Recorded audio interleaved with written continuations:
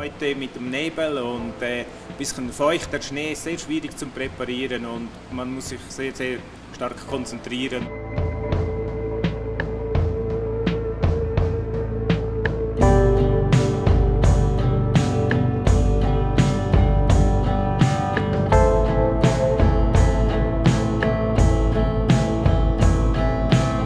aus einer schlechten Piste eine gute machen. Einfach da man selber auch gerne Ski fährt, dann ist man nachher auch sehr zufrieden, wenn eine gute Piste rauskommt.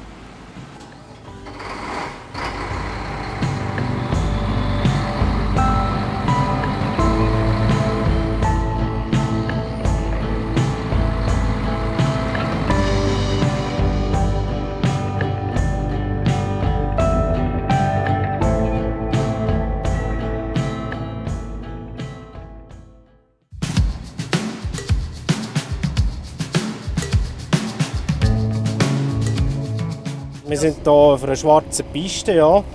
Äh, die Piste ist recht ausgefahren. Es hat vor kurzem noch ein bisschen Neuschnee gegeben.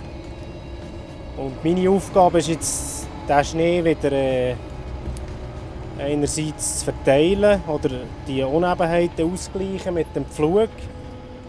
Und auf der anderen Seite mit der Fräse wieder ein sauberes Bild hinten nachher abzuglätten, eigentlich, dass der Gast morgen wieder eine super Piste vorfindet.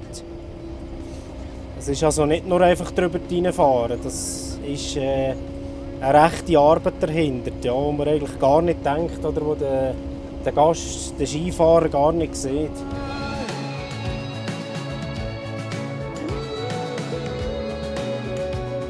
Die Schwierigkeit ist natürlich so ein grosses Gefährt, das ist etwa um die 13 Tonnen den zu beherrschen und fein zu fahren mit dem. Das ist nicht so einfach, wie es aussieht. Es sind doch ein paar Geräte, die ich bedienen muss. Es ist einerseits der Pflug, es ist die Fräse, es ist die Winde und es ist das Fahren auch noch, das dazukommt. Es sind doch ein paar Faktoren, die hier zusammenspielen.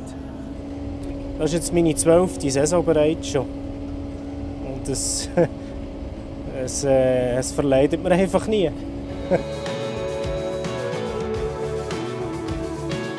Also so ein Tag wie heute, das ist natürlich traumhaft, das ist einmalig. Das ist auch das, was ich, was ich genieße. Das, das muss man einfach genießen. Das sind Momente, die könnte niemand nehmen, oder? Das, wenn es wieder wüst ist und stürmt und Nebel hat, denkt man wieder an solche Tage zurück. Es gibt einem auch ein bisschen Kraft und ein bisschen Motivation wieder, was einem diesen Job nicht verleidet. Man muss ein bisschen der Typ dazu sein für diesen Job das ist so, ja. Es kann einsam werden, aber es kommt immer daraus, äh, darauf an, wie man, wie man sich darauf einstellt. Ich meine, das sind, äh, das sind nicht manche Stunden, wo wir allein sind. Oder? Wir gehen dann, gehen dann wieder zusammen zu Nacht nehmen oder haben etwa Funkkontakt. Oder sehen uns beim Vorbeifahren. Es ist, ja, es ist nicht so schlimm, wie man das vielleicht denkt. Für mich ist es nicht ein Müssen schaffen, für mich ist es ein Dürfen arbeiten.